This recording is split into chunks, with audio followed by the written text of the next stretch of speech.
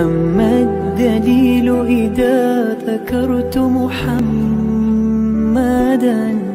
فترى دموع العاشقين تسيل هذا رسول الله هذا المصطفى هذا لرب العالمين خليل. صلى عليك الله يا علم الهدى.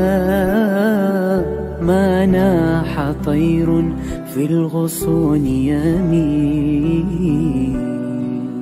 يا حبيبي يا شفيع يا شفيع يا حبيبي يا شفيع يا شفيع صلى الله صلى الله عليك يا حبيب الله.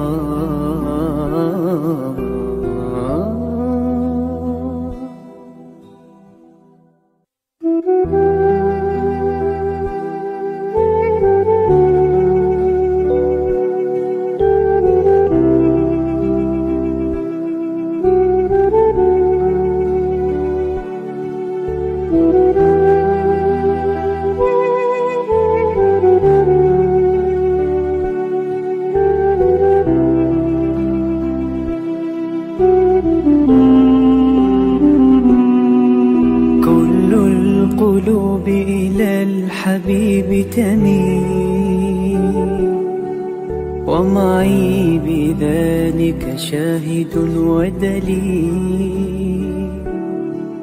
أما الدليل إذا ذكرت محمدا فترى دموع العاشقين تسيل. هذا رسول الله هذا المصطفى. هذا لرب العالمين خليل. صلى عليك الله يا علم الهدى.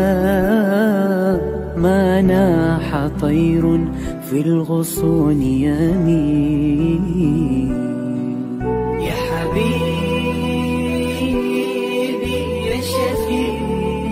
شفيع يا حبيبي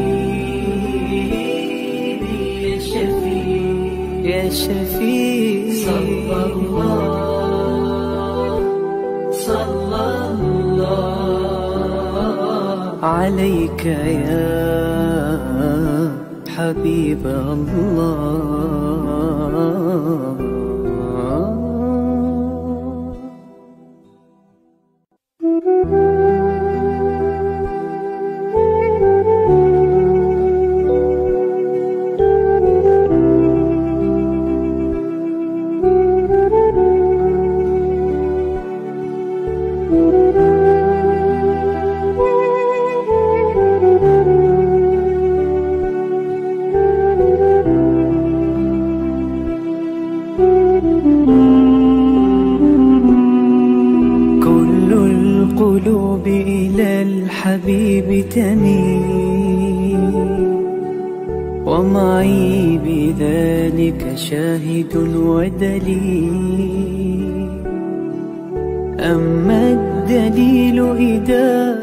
Sabah sedang mengusahakan pembinaan Komplek Anjung Suluh Khatimah yang dipaparkan dalam skrin sekarang ini.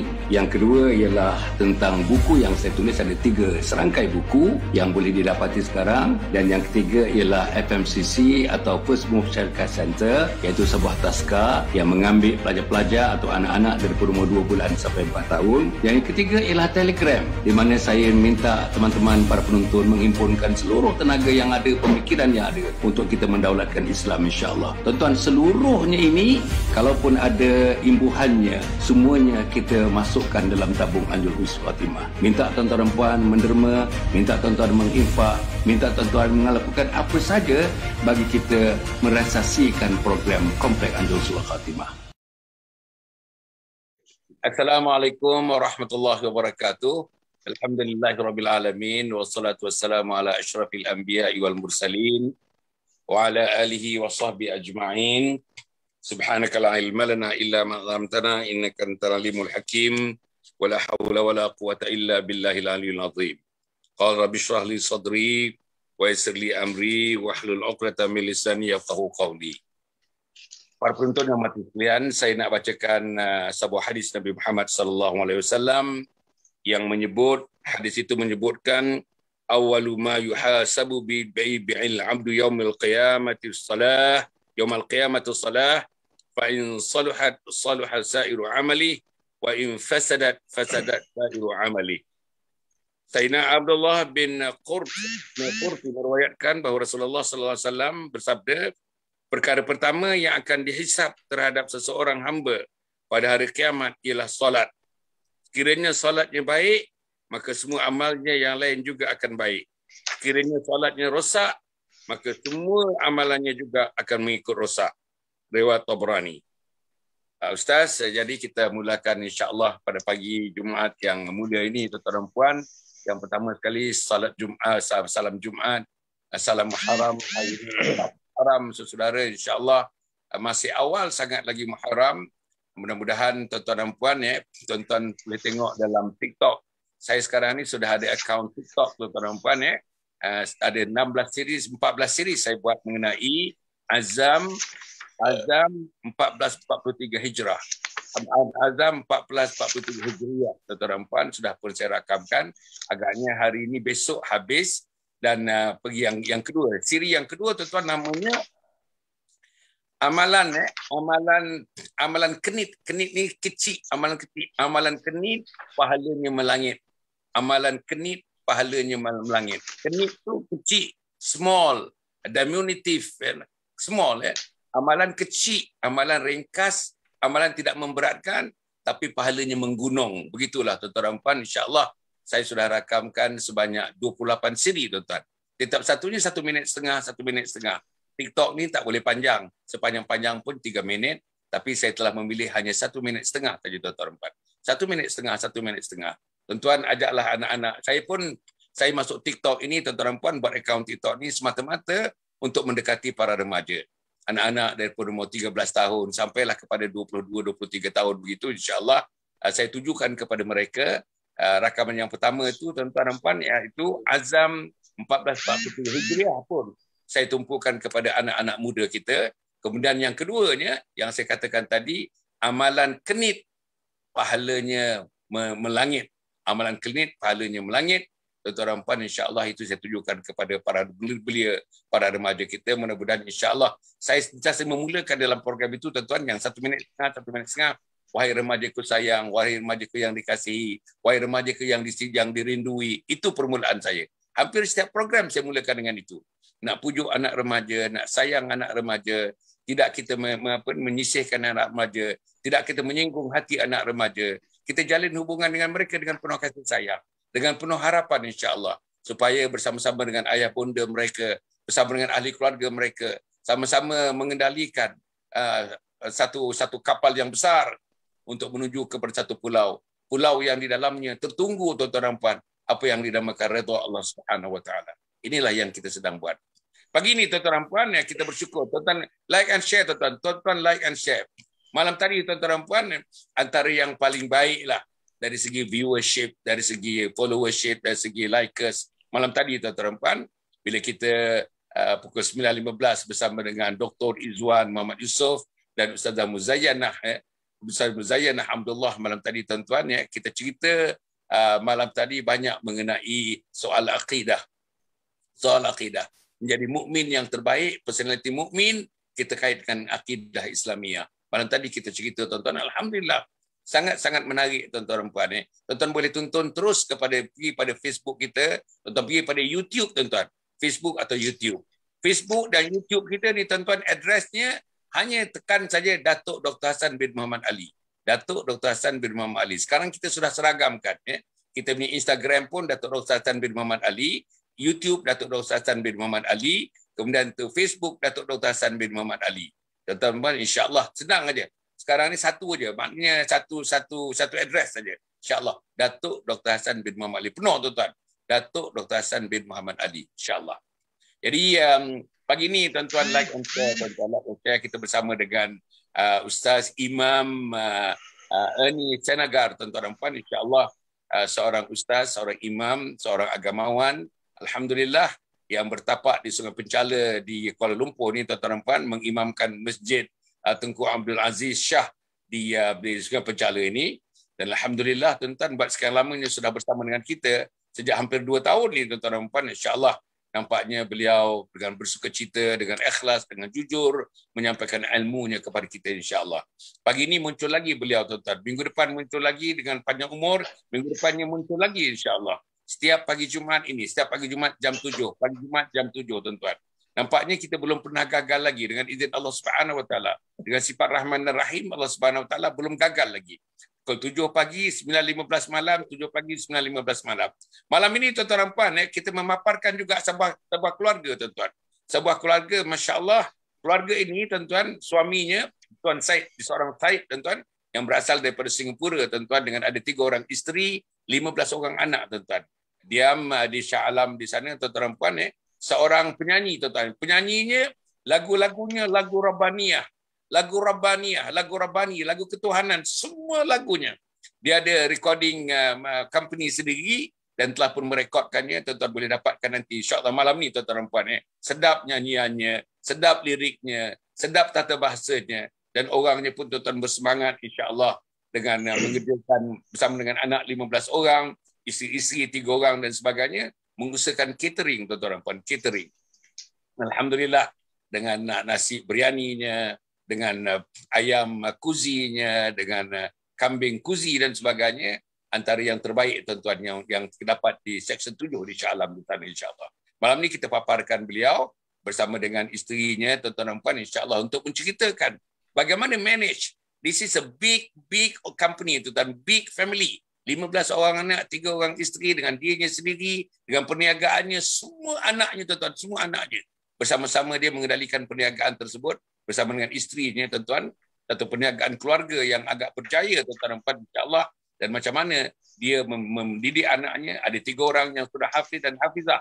Tiga orang sudah hafiz dan hafizah. Tuan-tuan ya sepuluh orang lagi atau lapan orang lagi masih dalam sekolah tuan-tuan sekolah biasa saja tapi didikan sampai sekolah biasa tuan-tuan didikan yang amat rigid tuan-tuan dan puan tentang agama ini ini yang kita nak belajar malam ni malam ni 9.15 tuan-tuan malam ni 9.15 insya-Allah dan pengulas malam ini Profesor Dr. Nur Azniza Isa daripada Universiti Utara Malaysia insyaAllah. Malam ini 9.15. Jadi um, Assalamualaikum uh, Al-Fadhil Ustaz. Waalaikumsalam warahmatullahi wabarakatuh. Masya Allah, Masya Allah. Terima kasihlah Ustaz. Hari Jumaat, pagi Jumaat pagi ini Ustaz. Pagi Jumaat pagi ini. Boleh Ustaz mulakan sedikit. Apa bezanya pagi Jumaat dengan pagi-pagi yang lain? Kita mulakan Masya dengan itu. Allah. Apa Masya Allah. bezanya Ustaz. pagi Jumaat dengan pagi-pagi yang lain? Sila Ustaz.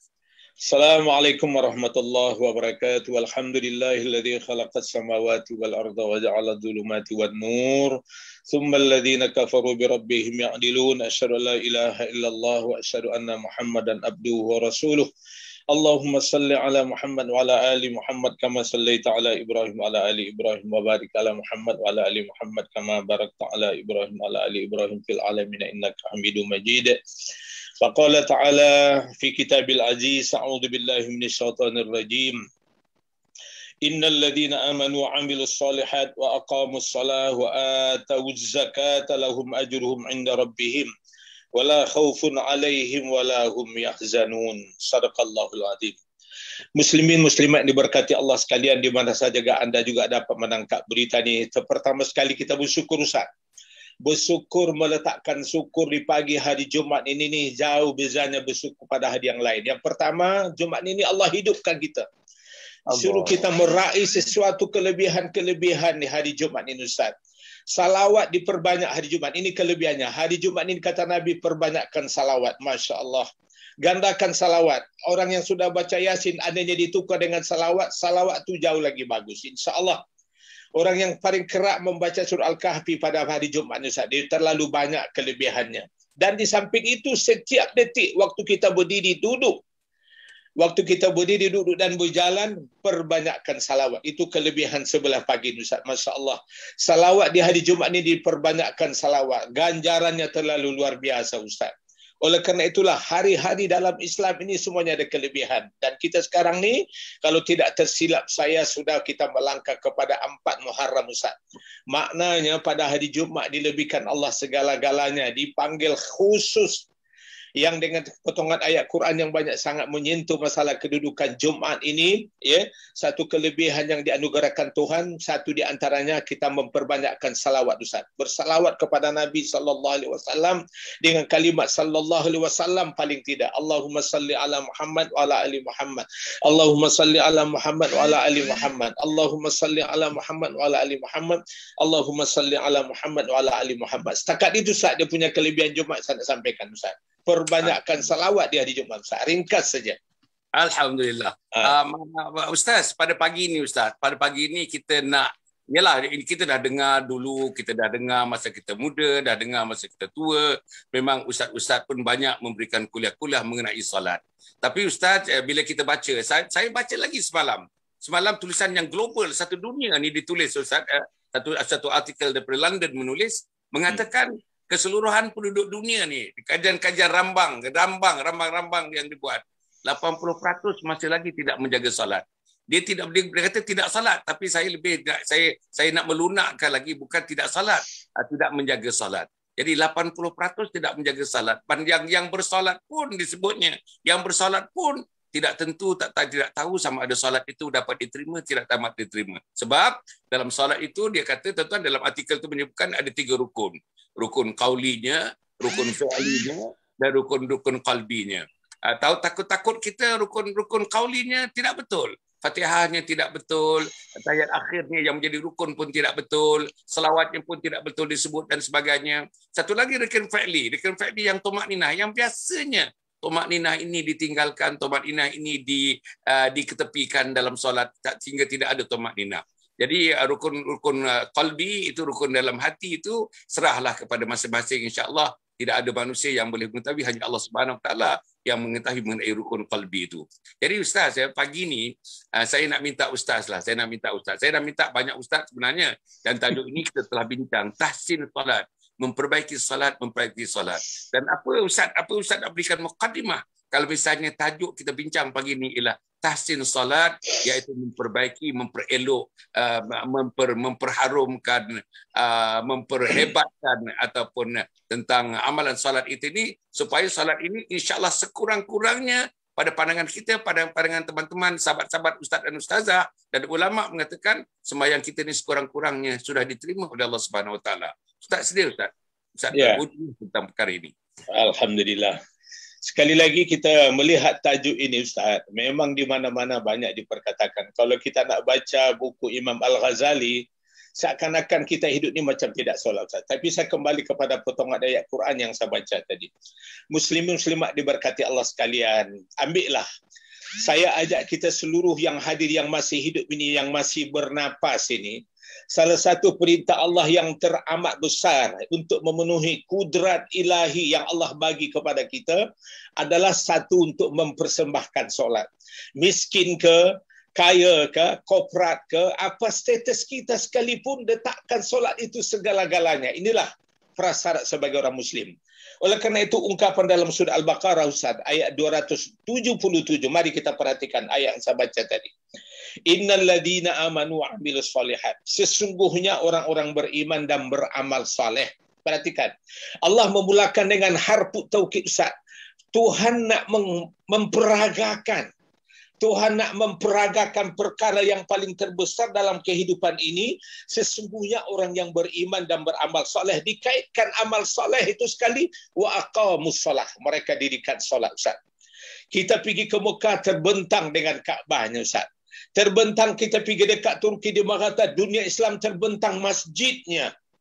Terbentang masjidnya. Sebab itulah inna ma ya'muru masajidallah man amana billahi wal yaumil akhir wa aqama shalah wa ata zakah orang yang memakmurkan masjid itu adalah orang yang beriman kepada Allah dan mereka berharap ada pembalasannya Ustaz di akhirat. Sebab itu solat dengan akhirat ini surga Ustaz dikaitkan dengan surga sebab Allah panggil innal ladina amanu amilus solihat orang yang beriman dan beramal soleh mana amal soleh yang perlu diperhitungkan oleh orang mukmin wa aqamus solah dirikan solat Kenapa inna solata tanahanil fahsyai wal munkar? Itu dalam surah Al-Ankabut ayat 45 disebutkan solat itu dapat mencegah daripada kefasikan dan kebukuruan, keburukan dan kemungkaran. Ustaz. Sebab itu Ustaz, seorang Muslim seorang muslim orang yang solatnya sudah hebat itu dia punya efek sampingan dalam kehidupannya keburukan dan kemungkaran itu otomatis akan dapat terhindar. Innal ladina amanu wa amilus solihat orang beriman dan beramal soleh wa aqamus solah mereka dirikan solat. Kenapa? Harapan mereka akan jadi baik rukun fi'linya akan jadi baik, rukun kalbinya akan lebih baik, rukun apa yang disebut dalam solatnya akan lebih baik. Sebab apa? Maklamanya dia untuk untuk pulang kepada akhirat. Benda yang dibawa itu. Sebab itu Allah panggil lagi dalam surah Ibrahim Ustaz. Untuk memperkukuhkan ayat ini Tuhan kata kulli ibadiyalladzina amanu Wahai hamba-hambaku, katakan kepada Muhammad. Muhammad katakan kepada hamba-hambaku. Apa dia kata? Alladina amanu yuqimus solah. Orang yang telah beriman kepada Allah. Yuqimus solah supaya mereka mendirikan solat. Saya nak tambah Ustaz daripada sepotong hadis yang begitu kuat sekali dalam kalimat dia. Masya Allah. Apa Nabi kata? An Jabir bin Abdullah. Qala Nabi sallallahu alaihi wasallam. Miftahul jannah Ustaz. Sebab kita naikkan tadi soal orang beriman kepada Allah, yakin kepada akhirat, mereka mendirikan solat, harapan mereka apa? Qala Nabi sallallahu alaihi wasallam, miftahul jannati as-salatu wa miftahus salatu tuhur. Kunci surga itulah solat dan kunci solat itu adalah wudu Ustaz. Maka oleh kerana itulah kalau kita nak tanya tadi masalah rukun qalbi bukan urusan kita urusan mereka dengan Allah. Kalau kita lihat rukun qalbi, rukun fi'li, rukun qauli yang mana satu nak diperbaiki Ustaz, seluruhnya kena kita perbaiki. Iman itu dalam hati. Terjemahannya apa? Sebab kita nak berharap surga. Surga tu apa? Miftahul jannah as-salatu wa miftahus salatu tuhur. Surga itu kuncinya adalah solat kunci surga itu adalah solat. Sementara solat itu kuncinya juga adalah kebersihan. Apa itu tuhur? Makna dengan istinjaknya yang beres, kemudian uduknya yang sempurna, kemudian di situ kalau dapat disempurnakan itu, maknanya segala kunci-kunci itu sudah dapat diperoleh. Ustaz kita bercerita tadi masalah kalbi Ustaz itu masalah keimanan Ustaz. Kenapa kita tak berat datang solat Ustaz? Sebab ada kuncinya sudah terbuka. Kita beriaya sangat solat itu Ustaz sebab kita dah memperbaiki istinja kita. Jadi kalau istinja itu panggilannya apa? Iman. Orang beruduk itu panggilnya apa dalamannya? Jadi kalau di peringkat awal Ustaz sudah uduknya tidak benar, ya istinjaknya sudah tidak bergeser, masih biasa-biasa saja tidak memperhatikan apa adab-adabnya, saya rasa yakin dan percaya Ustaz, kalbinya juga akan rusak. Kemudian fi'linya juga akan terganggu perbuatannya. Kauli bacaan-bacanya juga akan terganggu Ustaz. Oleh kerana itu saya melihat bahawa kedudukan solat ini mesti bertunjang, bertunjang kepada soal istinjanya Ustaz. Bertunjang kepada soal uduknya. Bertunjang kepada kalbinya. Bertunjang kepada fi'linya. Bertunjang kepada kaulinya Ustaz. Sebab itu Ustaz kalau kita tengok orang solat yang pertama sekali Masya Allah ya, apa yang menyebabkan kita datang solat itu. Ah, itu panggilan yang pertama sebab rasa yakin. Kita merasa yakin dan pasti balasannya adalah surga Ustaz. Itu sebagai mukadimah Ustaz. Allahu Akbar. Cantik, cantik, cantik, cantik. Bila disebutkan uh, bahawa solat itu merupakan miftahul jannah. Miftahul jannah, kunci kepada syurga. Tuan-tuan nak masuk rumah, ada kunci di gate kita, ada kunci di luar. Kemudian tu nak masuk lagi dalam rumah betul-betul, ada kunci lagi pada pintu utamanya. Nak masuk dalam bilik, ada kunci lagi tuan-tuan dan puan. Maknanya hidup kita ni macam rumah saya ni pun penuh dengan kunci-kunci tuan-tuan. Kunci gate-nya, kunci pintu utamanya, kunci biliknya, kunci dapurnya, berbagai-bagai kunci. Tuan-tuan eh, kita kunci ni kerana nak keselamatan. Tapi yang yang sebut sekali bahawa uh, uh, miftahul jannah miftahul jannah salat tu kunci kepada syurga itu adalah solat. Maknanya kalau kita tak ada kunci itu tuan-tuan dan puan, cuba tuan fikirkan. Kalau yang saya baca artikel semalam tuan-tuan, dulu-dulu pun saya baca, itu 80% tidak menjaga salat penduduk dunia Islam ini tuan-tuan dan puan. Jadi macam mana masing-masing tidak ada kunci? Bukan tidak ada kunci nak masuk kedai, bukan tidak ada kunci nak masuk gedung, bukan tidak ada kunci nak masuk kantor, bukan tidak ada kunci nak masuk bilik, bukan tidak ada kunci nak masuk di mana-mana pun tetapi tidak ada kunci nak memasuki syurga Allah Subhanahu Wa Taala. Satu lagi Ustaz yang berkaitan dengan itu yang menariknya, pendek dia. Dia disebutkan ju'il ju'ila qurratu aini fi salat. Nabi mengatakan Ustaz, ju'ila qurratu aini fi salat. Nabi kata kesejukan mataku terletak kepada salat. Ini Nabi kata, kesejukan mataku terletak kepada salat. Agaknya Ustaz, saya, saya rasa Ustaz boleh pagi-pagi Jumaat yang berbahagia, yang mulia ini, tuan-tuan dan kalau Ustaz dapat dapat ini, Nabi kata, dapat ulas sikit bahawa kesejukan mata aku terletak kepada salat. Macam mana, apa arti kesejukan mata di situ? Macam mana pandangan Nabi tentang salat? apa peranan salat dalam kehidupan umat ini? Apa peranan salat dalam kehidupan anak-anak kecil, dalam kehidupan anak-anak remaja? Apa kaitan salat dengan kehidupan kita sebagai orang dewasa? Apa kaitan salat dengan orang-orang macam saya ni, yang dah tua bangka macam saya ni, apa arti salat dalam kehidupan? Sedangkan Nabi mengatakan, kesejukan mataku adalah bergantung terletak kepada salat. Macam mana Ustaz? Tengok saya, uh, Muslim-Muslimat berkati Allah sekalian, Masya Allah pada pagi Jumaat yang berbahagia ini kita cerita masalah solat Ustaz. Saya bersyukur hari ini Ustaz sebab saya dapat solat subuh. Itu yang tidak itu yang terlalu luar biasa pada saya. Kenapa saya rasa kalau ini adalah satu kesejukan yang boleh dipandang, kita tengok anak-anak Ustaz. Di mana saja kalau solat lima waktu ini kita dapat anak kecil datang ke masjid Ustaz. Orang dewasa datang ke masjid. Apa rasanya pandangan negara Ustaz? Kalau negara ni serentak solat Ustaz, saya teringat di Turki Ustaz, banyak sangat artikel kita baca. Solat subuhnya seperti solat Jumaat Ustaz. Solat Jumaatnya adalah seperti solat subuh. Solat subuhnya seperti solat Jumaat. Sana kata, apa yang ada gerangan dalam hati mereka Ustaz? Maknanya Turki ni nampak sejuk dalam pandangan kita hari ini. Tak ada nilai bangunan, tak ada nilai pose, tak ada nilai kereta, tak ada nilai harta Ustaz.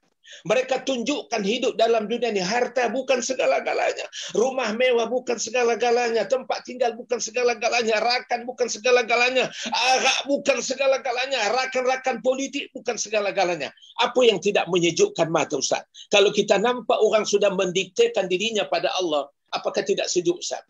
Ustaz punya anak ada tujuh orang yang bagaimana kalau kita solat berjamaah di rumah Ustaz? Rasa kesejuknya sebab apa? Allah lantik kita fitrah kita Ustaz. Fitrah kita manusia ni hadirin sekalian di mana saja mendengar. Fitrah manusia ni bila sudah melaksanakan perintah Allah solat apa keburukan dia Ustaz? Hanya boleh menghalang itu solat. Apa tidak sejuk mata kita kalau kita tengok jiran sudah solat Ustaz. Negara kita sudah solat. Kampung sudah bersolat beramai-ramai. Apa jadi? Jadi punca segala kesejukan mata yang Ustaz sebutkan hadis tadi bermula daripada Anas bin Malik radhiyallahu an qala Rasulullah sallallahu alaihi wasallam ju'ila qurratu aini fi shalah. Ha, bayangkan kesejukan mataku terletak dalam solat bahkan dalam satu hadis disebutkan saat disambung lagi daripada Umar radhiyallahu qala Rasulullah sallallahu alaihi wasallam as-salatu umududdin solat itu tiang-tiang kepada agama. Jadi kalau tiangnya sudah roboh, apa cantiknya, apa cantiknya satu bangunan, apa sejuknya mata kita melihat seseorang kalau sudah tiang-tiang dalam hidupnya sudah roboh. Sah. Cantik mana pun orang, Ustaz. ganteng mana pun orang, sehat macam mana pun kita nampak, hilang kesejukan mata kita tengok orang ni sebab kita rasa ni orang jahat. Ustaz. Bayangkan, jadi hebat sehatnya orang, gantengnya orang kata orang Indonesia. Masya Allah Ustaz, di Indonesia baru-baru ini Ustaz, saya cukup terkejut Ustaz. Sampai satu Muharram itu orang nak tunggar, nak tukar kepada tiga Muharram Ustaz. Tarikh satu Muharram pun orang nak rubah Ustaz. Sebab tu dicabar negara Ustaz. Kalau begitu Indonesia tu merdeka tanggal 17 Agustus. Sekarang kau rubah tanggal 17 satu menjadi tanggal 20 Agustus kita merdeka kerja-kerja Tuhan pun mereka nak rubah. Ini apa Ustaz? Puncanya sebab tak solat. Kenapa? Sebab kita bermunah muka dengan Tuhan. Tuhan ni Ustaz disebutkan wa asidu qaulakum awijharu bih. Allah ni maha mengetahui apa terkandung dalam hati kamu sama ada kamu sembunyikan atau kamu zahirkan. Oleh kerana itu saat kita di hadapan Allah ni tak boleh berpura-pura. Sejuknya mata kita orang melihat orang solat Ustaz. Sebab apa? Itu fitrah manusia. Sejuknya mata kita melihat orang yang solat sebab mereka tunduk di hadapan Allah. Sejuknya hati kita melihat seseorang Ustaz. Sebab apa? Mereka seluruh rangkuman hidup mereka. Tidak bagaimana tidak disebutkan Ustaz. Inna solati wa nusuki wa mahyaya wa mamati wa mahyaya wa mamati. Saya nak ambil dua kalimat tu Ustaz wa mahyaya wa mamati. Hidup dan matiku diberi Tuhan. Kita yakin tak pada subuh pagi yang berbahagia ini, anak kita bangun tapi pergi jogging Ustaz. Tak solat. Kita bangun pagi ini kita pergi dekat, dekat gym. Bangun pagi ini tidak baca Quran. Bangun pagi ini tak sentuh apa-apa. Agak-agak perasaan kita macam mana Ustaz. Sebab itu bila ada sifat radikal Ustaz, saya nak kontakkan bila ada sifat radikal kita dalam beragama menegakkan Islam, solat saja Ustaz. Kita bukan kata nak bina negara Islam nak sebut setiap keluarga ni kalau mereka radikal ada sifat radikal untuk mendirikan solat lima waktu. Saya rasa Ustaz soal kesejukan ini tak payah mesti kita pergi dekat kamera Highland Ustaz. Tak payah pergi dekat genting Highland nak sejukkan mata konon di sana ada awan-awan yang berembus pagi yang akan tak ada perasaan kita tidak akan ada kesejukan kata Nabi sallallahu alaihi wasallam kalau sudah solat sudah tidak lagi berambisi dalam dirinya tidak lagi tumbuh dalam dirinya solat saya yakin dan percaya Ustaz kalimat husnul khatimah yang Ustaz nak bangunkan ini anjung husnul khatimah tak ada nilai dia Ustaz orang datang besok dekat husnul khatimah tapi tidak solat tak payah datang pun tak apa sebab adanya husnul khatimah itu bermula dengan solatnya Ustaz. Itu saja Ustaz. Tambahan sikit. Alhamdulillah. Hujung tadi Ustaz. Hujung yang Ustaz sebut para penonton yang hormati sekalian. Nak dapatkan husnul khatimah itu mestilah solat. Dan Ustaz yang mula-mula saya baca tadi Ustaz. Mula-mula tadi uh, memulakan majlis ini. Bahawa solat adalah ibadah yang mula-mula sekali dihisap di hadapan Allah Subhanahu Wa Taala. Yang mula-mula sekali dihisap kalau salatnya lulus, ibadat-ibadat yang lainnya adalah lulus. Kalau ibadatnya gagal, masih yang lainnya adalah gagal. Para penonton yang hormati sekalian, cuba letakkan kepada diri kita nanti bila kita menghadap Allah Subhanahu Wa Taala. Mula-mula dihisap salat. Apa jadi kalau misalnya hari Jumaat pagi ni? Ini pagi Jumaat kita tu, pagi Jumaat. Sekarang jam saya sudah menunjukkan pukul 7.24 minit. Saya yakin, saya yakin, minta, minta maaf saya selalu sebut ni. Ada yang tidak bangun lagi Ustaz. Ada yang tidak hmm. bangun lagi. Maknanya sudah syuruk ni, sudah masuk matahari, sudah meninggi. Sudah habis waktu subuh sekarang ini lebih kurangnya. Tapi ada yang tak bangun lagi. Bukan saja hari ini tidak bangun, minggu lepas pun tidak bangun, bulan lepas pun tidak bangun, tahun lepas pun tidak bangun. Ada satu cerita Ustaz, pagi semalam, pagi semalam. Ah, seorang message kepada saya, seorang ibu, seorang isteri message kepada saya. Dan memberitahu, selepas itu dia call. Saya call, dia call saya balik Ustaz. Tadi semalam, ni cerita yang benar Ustaz. Ya? Apa dia kata? Saya ni dalam keluarga, saya satu orang saja sebagai isteri, satu orang saja yang selalu bagi tahu anak-anak supaya solat. Solat aja. Bagi tahu suami supaya solat. Bagi tahu anak-anak saudara supaya solat. Tapi dia kata, Allah dia kata, saya nak minta orang salat, nak minta anak salat, minta keluarga salat, minta ipar-ipar salat, minta semua orang salat. Suami saya menegah saya, Ustaz dia kata. Suami saya mentemplak saya. Suami saya menengking saya. Apa nak jaga tepi kain orang? Pasal apa nak jaga tepi kain orang? Kubur masing-masing. Pasal apa nak jaga tepi kain orang? Ustaz, kalau inilah yang berlaku dalam rumah tangga. Inilah bentuk suami. Inilah bentuk abang sulung ini misalnya. Inilah bentuk manusia yang paling senior yang ada dalam rumah itu. Apa nak jadi tuan-tuan dengan ibadah solat? Sebagaimana yang Ustaz menyatakan tadi, solat merupakan kunci kepada syurga untuk masuk syurga, mesti solat. Nak masuk nak, nak mati dalam husnul khatimah, kuncinya adalah solat. Bagaimana Ustaz? Masya Allah Ustaz. Saya kebetulan terpampang Ustaz hadir di hadapan saya. Ada kaitan dengan soal pemeliharaan solat. Ustaz, yang saya nak bagi tahu pada muslimin sekalian, dalam dunia ni Ustaz, seorang Islam, yang wajib sekali mereka pelihara itu adalah solat. Ustaz. Sebab apa kata Nabi? Daripada Hanzalah Al-Usaidi anna Rasulullah sallallahu alaihi wasallam. Tengok kata Nabi sallallahu alaihi wasallam. Saya bercakap soal fakta Ustaz yang Ustaz sebut kalau seorang suami sudah marah dengan isteri. Seorang isteri marah pula dengan suami. Anak pula marah dengan bapa. Bapa pula marah dengan anak. Apa konsepnya sekali Ustaz? Apabila sudah membenci daripada benda-benda ini. Tengok. Nabi bagi kita jaminan. Man hafaza Man hafaza ala salawatil khamsi ala udu'iha wa mawaqitiha wa ruku'iha wa sujudiha yaraha haqqa lillahi alaihi hurrima alaihi nar. Hurrima alaihi nar. Bayangkan. Hmm.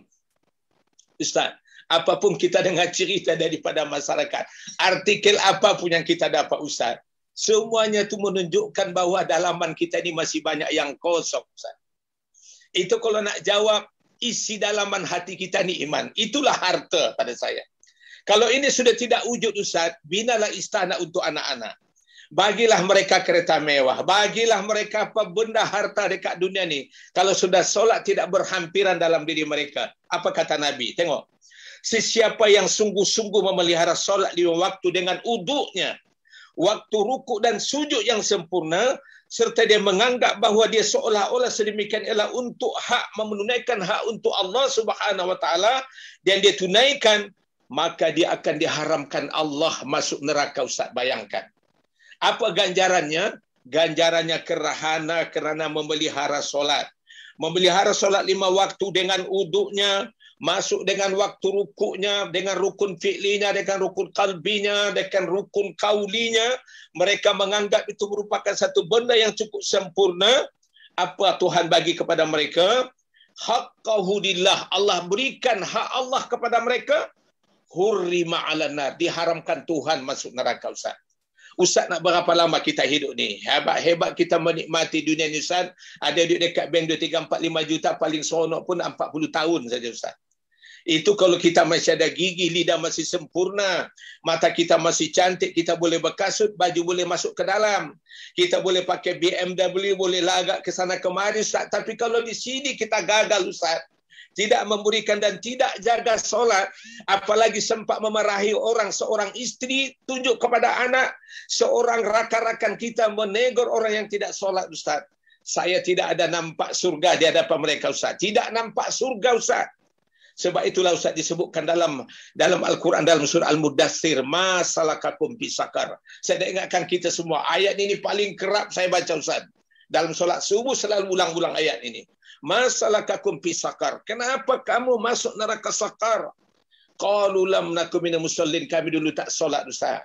Bukan dia kata tak ada harta, bukan tak datang Nabi, bukan tak datang Rasul, bukan tak datang Quran. Ustaz nak tanya Ustaz sekarang ni Ustaz. Apa benda yang dakwah yang tak sampai pada kita sekarang ni? Di pelosok apa yang tak sampai dakwah sekarang? Internet dengan segala kehebatannya. Nak kata anak Tuhan bagi peluang kepada kita. Kenapa kamu masuk neraka sakar? Kata malaikat Zabania kepada orang penghuni neraka. Jawapan mereka apa? Qalu lam nakun muslim kami dulu tak solat. Wa kunna salompa ayat di sekolah. Wa kunna nakhudu ma'al khaidin. Kami dia suka bermain-main hatta atana yakin sehingga datang kematian. Dulu saya fahamkan yakin itu sat kalau kita kata yakin, bila nak yakin? Rupanya yakin itu kematian. Hatta atanal yakin. Hari ini kita tengah muda, tengah gagah, tengah hebat Ustaz. Ustaz masih ada jenggot lagi. Kopi yang masih bertapak lagi dekat atas. Tengok Ustaz, mana kita lebih muda Ustaz. Kalau inilah satu modal saya nak hidup Ustaz, nak melagak orang. Inilah cara saya nak melagak berjiran. Inilah saya nak melagak orang, nak melagak Tuhan. Saya tak memiliki apa-apa Ustaz. Sebab itulah saya kata nasihatkan pada kita semua hatta atanal yakin sehingga datang kematian baru kita ada berbicara soal Allah. Tak ada. Pastinya Ustaz beribadahlah wa'bud hatta rabbaka hatta yatil. Beribadahlah kamu sehingga datang kematian buat kamu. Makna jangan berhenti selagi nafas itu. Apa yang kita buh hidup dalam dunia ini? Solat. Orang akan silap besar dalam kehidupan kalau mereka tidak memburu untuk kesempurnaan solat. Sebab itu miftahul jannah itu tadi kunci surga. Apa lagi yang boleh kita bawa? Ustaz banyak umpamakan tadi. Masuk rumah pakai kunci, masuk istana pakai kunci, bawa kereta pakai kunci. Semuanya serba kunci dalam dunia ini. Tuhan nak seluruh hidup kita yang terakhir ini, nak kembali kepada Allah. Kita nak anak su'ul khatimah. Kita nak su'ul khatimah. Tapi pembangunannya, pembangunannya kita dapat adalah umududdin tiang-tiangnya itu jangan kita rusak. Itu Ustaz sebagai tambahan. Ustaz. Alhamdulillah. Masya Allah tuan-tuan dan puan. Ya. Yang pertama sekali tuan-tuan dan puan. Ya, rasanya semua orang. Semua orang di Malaysia ni yang Muslim mengakui bahawa sembahyang itu fardu, sembahyang itu wajib, mesti ditunaikan sebab sembahyang itu kunci kepada syurga. Semua orang faham. Tetapi Ustaz, dengan kepahaman itu, kita faham berniaga boleh membawa kepada kejayaan, boleh kepada keselesaan ekonomi. Orang pun berniaga dan belajar ilmu berniaga dan akhirnya berniaga dan berjaya dalam perniagaannya. Okey, pertanian. Belajar ilmu pertanian. Rumah kecil, kawasan kecil tapi pertanian intensif namanya. Tuan-tuan dan puan, ah, berbagai-bagai berbagai-bagai jenis cara-cara yang moden ini rumah orang di Singapura tuan-tuan di Singapura rumahnya high rise rumah tinggi semua flat flat tinggi kondo tinggi tapi dekat situ tuan-tuan ada ada betiknya ada papayanya. Di situ ada sayur-sayuran sayuran-sayuran dalam rumahnya. Ini tuan-tuan teknik-teknik baru teknologi-teknologi baru. Mereka dapat cipta itu. Tetapi tentang salat ni tuan-tuan nampak tentang salat ni yang sangat-sangat salat subuh misalnya. Subuh dua rakaat. Dua rakaat kalau betul-betul yang fardu salatnya yang dituntut yang rukun kauli rukun fi'li ni dan rukun qalbinya yang dituntut tak lebih daripada tiga minit ustaz tapi kenapa kita tidak mampu melakukan tiga minit? Ambil tuan-tuan sembahyang maghrib. Sembahyang maghrib pun lebih-lebih. Empat minit begitu. Kenapa tidak mampu? Kita berada di kedai kopi tuan-tuan dan puan kalau musim tidak covid ni sampai berjam-jam sampai pukul 2 pagi. Kedai-kedai mamak 24 jam Pukul 4 pagi pun ada orang. Pukul 3 pagi pun ada orang. Kenapa boleh begitu? Tetapi solat 3 minit kenapa tak boleh buat? Apa masjid dekat dengan rumah kita berjalan sekitar 5 6 minit, kenapa tak boleh pergi? Tapi kita boleh pergi kedai mamak, bawa kereta 5 km daripada rumah, bertemu dengan kawan sampai pukul 3 pagi kita berborak. Borak kosong tuan-tuan dan puan. Tuan Ustaz, di mana letaknya? Kenapa kenapa tidak ada kekuatan itu? Saya nak tanya Ustaz, kenapa tidak ada kekuatan itu? Apa halangan-halangan itu? Kenapa kita tewas dengan syaitan dan iblis yang ganggu kita pada pagi ini? Sekarang jam saya hampir pukul tujuh setengah, tuan-tuan. Syaitan dan iblis kata tidurlah lagi, tidurlah lagi, tidurlah lagi, tidurlah lagi. Maka kita tuan-tuan ditawar oleh syaitan dan iblis sampai tujuh setengah sekarang pun masih tidur lagi. Tidak bangun, tidak rukuk dan tidak sujud, tidak menyembah Allah, tidak takbiratul ihram, tidak sujud tuan-tuan, tidak rukuk, tidak mengangkat tangan, tidak berdoa, tidak berzikir pagi ini. Kita lelap dengan tidur melayan mimpi-mimpi di pagi ini. Macam mana Ustaz? Di mana kelemahan kita? Apa sebabnya kita begitu lemah untuk bangun, ambil wudhu, menunaikan sembahyang subuh tidak lebih daripada tiga atau empat minit itu Ustaz? Di mana kelemahan kita? Masya Allah Ustaz. Ya, seluruh Ustaz hampir kalau kita buat pertanyaan Ustaz, hampir mempunyai jawapan yang sama Ustaz. Baik, saya nak kembali kepada surah Al-Baqarah di pangkal ayat tu. Agak-agak di awal sikit. Lebih kurang dalam ayat yang keberapa. Kalau tidak silap saya, Tuhan sebut dekat situ, وَبَشِّرِ الَّذِينَ آمَنُوا وَعَمِلُوا الصَّالِحَاتِ Tengok Ustaz, kalau orang tidak baca Quran, motivate dia tak ada Ustaz. Kenapa orang tidak solat subuh? Sebab mereka tidak baca Quran. Sebut sesenang saya sebut Ustaz. Kenapa orang tidak berminat dengan zakat? Sebab mereka tidak baca Quran. Kenapa? Sebab apa? Quran itu adalah hidayah siraman. Wa basyiril ladina amanu wa amilu salihat anna lahum jannatun tajri min tahtiha al-anhar ulama ruziku minha min thamarati rizqa. Allah sembentangkan, gembirakan. Bagaimana Quran yang sudah bertapak di rumah kita bertahun-tahun dalam lemari sampai berabuk-berabuk Ustaz. Saya Ustaz mengajar di kawasan Taman Tun sampai Damansara Utama, rumah ke rumah di peringkat awal Ustaz. Ada ramai ada yang ibu bapa yang menegur saya, Ustaz tak payah bagi pardoain pada anak saya. Anak saya ini sudah pada kelas sekolah-sekolah sekolah belajar agama di sekolah Ustaz. Bayangkan, saya nak bagi pardoain pun mereka cegah. Itu berlaku lebih kurang hampir 25 tahun yang lalu Ustaz. Kalau Ustaz tanya, timbulkan satu pertanyaan pada saya, kenapa orang tak minat solat? Orang yang tidak diberkahkan rezeki, dia tidak perasan Ustaz. Masalahnya dia tidak perasan dia orang beriman. Yang kedua, tidak ada perasan untuk apa dia hidup. Tuhan sudah bentangkan wa khalaqtul jinna wal insa illa liya'budun. Allah tak jadikan kita jin dan manusia kecuali untuk beribadat. Himbauan ini dia didasarkan macam benda biasa. Jadi kenapa orang tidak solat? Kenapa tak minat dengan ibadat? Sebab tak tumbuh diri dia jadi seorang hamba. Dia tidak perasan nikmat yang dia terima, nyawa yang dia hirup, makanan yang dia makan, isteri yang dia ganyang hari-hari. Ustaz minta maklum. Anak yang dibekalkan yang penyejuk mata selama ini. Tidur yang dibekalkan Tuhan pagi, siang dan malam. Dia bebas belajar ke luar negeri. Dia tak perasan kok itu nikmat itu datang dari Tuhan. Macam mana nak beribadat Ustaz? Kita ni Ustaz, lah dua tua dugu macam ini, saya selalu menggunakan perkataan tua bangka. Saya setujulah cakap Ustaz. Kita orang kata dah sudah bau dah bau tanah dah Ustaz dah. Kalau bernapas pun taruhlah benda apa yang mewangikan mulut dah tak bau dah tak wangi dah Ustaz. Taruhlah benda minyak wangi dekat ketiak tu. Dah tak lawa. Banyak orang tua-tua kita tengok berhias dah tak mu cantik dah Ustaz. Kenapa dia merasakan diri mereka ni bukan makhluk Tuhan? Kalau dia rasakan wajah alna naumakum subata wajah alna di masa Allah jadikan tidur itu sebagai rehat, kemudian malam itu dijadikan sebagai pakaian, dia sedar tak? Masalah ini bila diungkap dalam surah Ar-Rahman tu mereka tak baca. Bila mereka diri tidak merasakan sebagai hamba Allah Ustaz, tak, tak merasa apa fungsinya saya hidup, kenapa saya hidup, kenapa umur saya bertambah. Kalau itu berulang-ulang dalam kepala mereka Ustaz, saya yakin dan amat percaya solat ni kecil Ustaz. Keluarkan zakat tu kecil, puasa tu kecil, haji tu kecil. Dan sempurna dalam konteks ini Ustaz saya nak sampaikan sepotong hadis Ustaz. Masya Allah. Apa Nabi kata? An Abi Qatadah bin Rabi'in qala Rasulullah sallallahu alaihi wasallam. Qala Allah Ta'ala inni faradtu ala ummatika khamsa salawati wa ahidtu indi ahadan annahu man jaa yuhafizu alaihinna liwaqtihinna adkhaltuhul jannah. Wa man lam yuhafiz. Wa man lam yuhafiz. Saya nak ulang balik besok hadis Ustaz. Wa man lam yuhafiz alaihinna fala ahdalahu indi. Masyaallah ini hati-hati Ustaz. Kenapa tadi orang tidak solat? Sebab merasa diri bukan hamba Ustaz. Nikmat yang bergelimang di hadapan mata tak nampak. Anak-anak yang ada, istri yang ada, rumah yang cantik, kereta yang ada, dia rasa merupakan itu pencapaian pribadi dia. Silap. Ini kesilapan besar bagi seorang mukmin.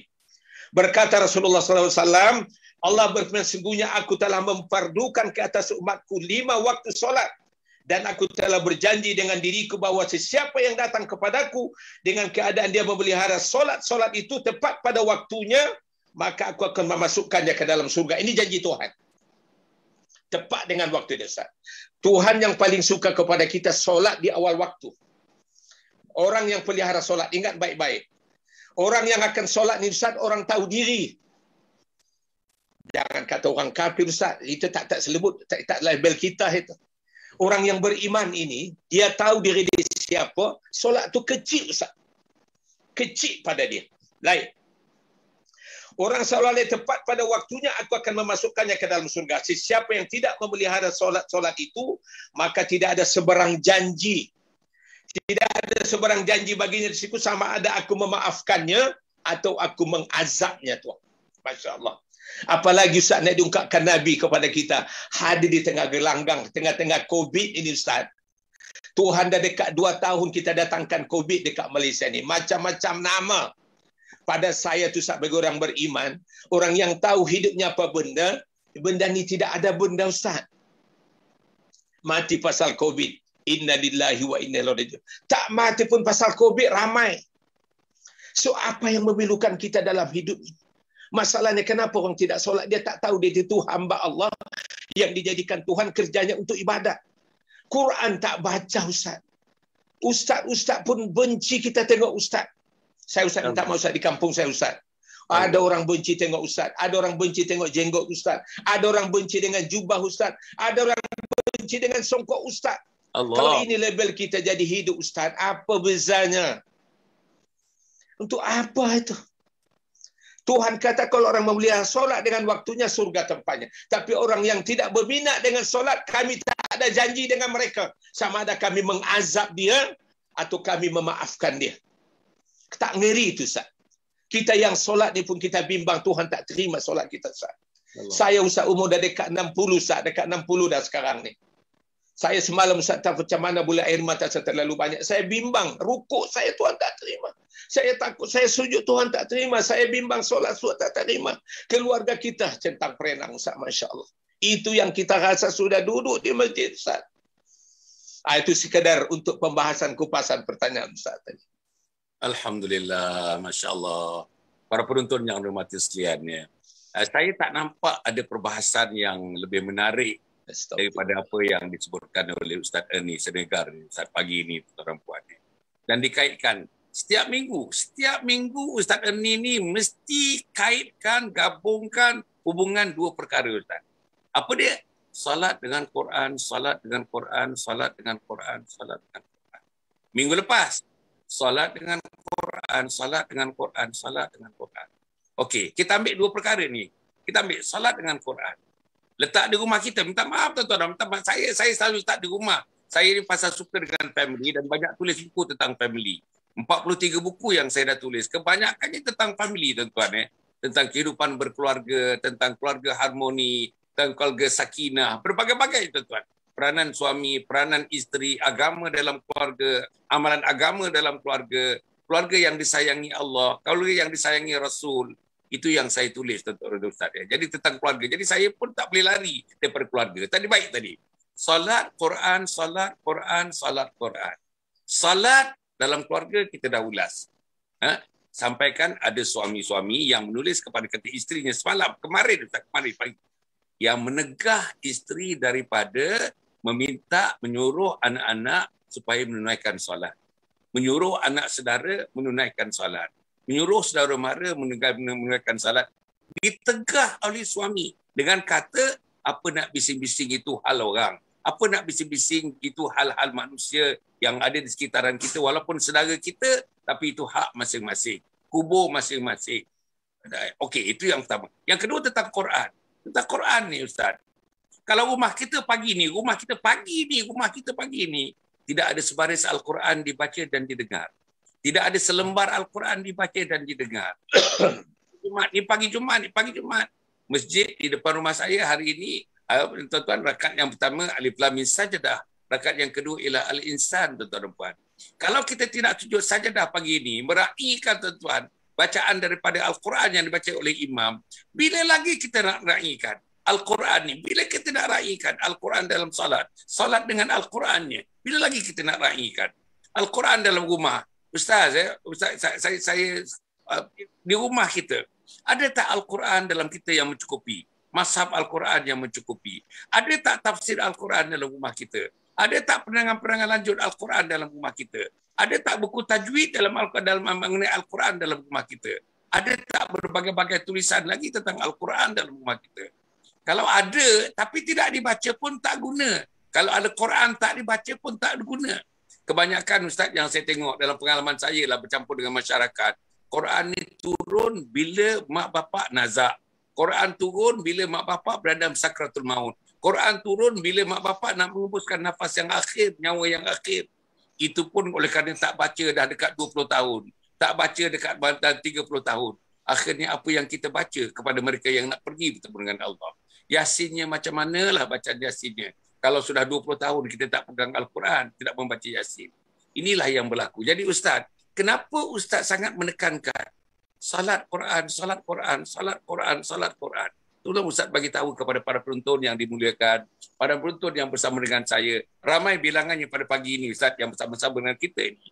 Kenapa Ustaz dalam banyak-banyak apa ni uh, pendedahan yang Ustaz berikan bersama dengan saya pagi-pagi pukul tujuh hari Jumaat ini, tiap-tiap hari Jumaat ini Ustaz mesti sebut salat Quran, salat dan Quran, salat dan Quran, salat dan Quran.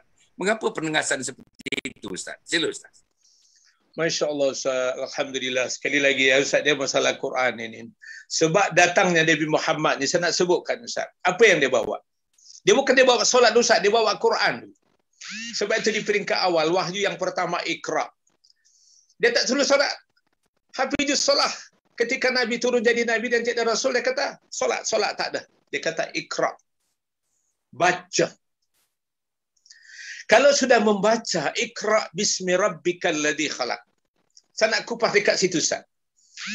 Baca dengan nama Tuhan kamu yang telah menjadikan kamu. Bila dibaca 30 juzuk itu Ustaz, seluruh perintah Allah itu akan menjadi satu tebaran dalam diri kita. Baca. Begitu saja Nabi diutus, dilantik menjadi rasul, yang pertama ikra, ikra, ikra. Cantik kata ayat itu. Iqra bismi rabbikal ladzi khalaq khalaqal insana min 'alaq. Iqra wa rabbukal akram. Baca dengan nama Tuhanmu yang telah memuliakan kamu yang telah mendatangkan darjat dan ketinggian kepada kamu. Iqra wa rabbukal akram. Alladzi 'allama bil qalam yang telah mengajarkan kepada kamu. Dunia ni Ustaz diisi sekarang dengan ilmu pengetahuan. Tuhan dah ajar pada manusia Minta maaf hadirin sekalian. Sama ada ada tinggal di Amerika, tinggal di Eropah. Orang baik, orang jahat, orang Muslim, tak Muslim. Semua dibekalkan Tuhan ilmu pengetahuan. Sebab mereka telah membaca Ustaz. Guru-guru kita telah berpulang ke rahmatullah. Apa modal mereka dalam hidup? Baca Quran Ustaz. Membaca, membaca, membaca. Ikra'ul Quran. Fastami'u lahu wa ansitu la'alakum tafakun. Ketika Quran dibacakan, kamulah hendak kena diam hendak wa'an situ supaya kamu hendaklah diam.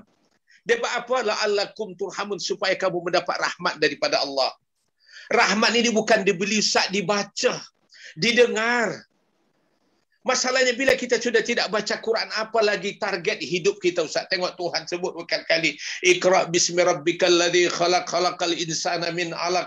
Iqra wa rabbukal akram alladhi allama bil qalam. Allamal insana ma lam ya'lam. Allah sebutkan begitu. Yang telah mengajarkan manusia pada benda-benda yang dia tak tahu. Jadi kalau kita tidak tidak bermunajat dengan Quran, kita tidak berdamping dengan Quran, tidak memeluk Quran, tidak memahami Quran yang Ustaz sebutkan tadi, hampir mungkin Quran tu ada di setiap rumah tapi tidak baca. Kenapa? Tak ada ikraknya. Yang dia tahu ikrak-ikrak matematik, yang dia tahu dia ikrak geografi, yang tahu dia ikrak lain. Kalau anak gagal dekat sekolah bukan main malu sah. Tapi tak ada jarang dua bapa yang anak dia kalau tak boleh baca Quran malunya luar biasa tu tak ada. Sebab Allah. apa? Nilai kesyukuran tu tidak wujud Ustaz. Kenapa saya kaitkan dengan Quran dalam kehidupan? Kalau manusia membaca hidayah tu akan turun dalam diri dia. Begitu Nabi diutus ke dunia ni bukan disuruh solat, bukan suruh puasa dulu, bukan suruh zakat dulu, sahaji dulu, tak ada. Baca Quran. Ikra'ul Quran. Baca kamu Quran. Saya Ustaz kalau dalam ketika talqin Ustaz, saya orang yang paling kerap pergi talqin Ustaz. Saya lepas talqin tu akan baca empat perkara Ustaz. Pesan Nabi sallallahu alaihi wasallam. Nabi kata aqimus solah dirikan kamu solat. Yang kedua ikra'ul Quran baca Quran. Kemudian fazkurullah berzikir banyak-banyak. Kemudian sedekatan jariah. Sedekah. Empat perkara yang akan melindungi kita daripada azab kubur. Kenapa dimulakan dengan aqimus solah ikra'ul Quran? Dua perkara ini yang akan menjadi pendinding kita Ustaz.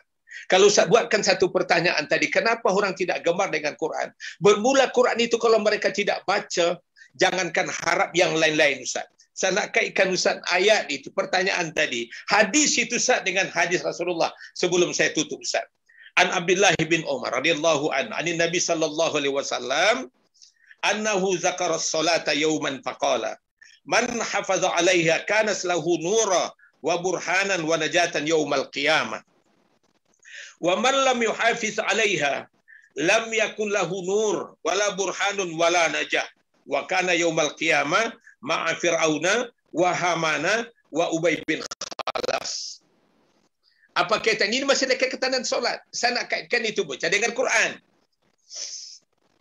Apa kata Nabi sallallahu alaihi wasallam pada satu hari Rasulullah SAW menyebutkan tentang solat lalu bersabda siapa memelihara solat maka solat itu akan menjadi nur menjadi cahaya bagaimana orang solat kalau tak boleh baca Quran Ustaz jadi jangan tak dikaitkan dengan Quran Bagaimana orang akan dapat cahaya kalau mereka tidak baca Quran? Bagaimana mereka rukuk kalau mereka tak boleh baca Quran? Bagaimana mereka sujud kalau mereka tak boleh baca Quran?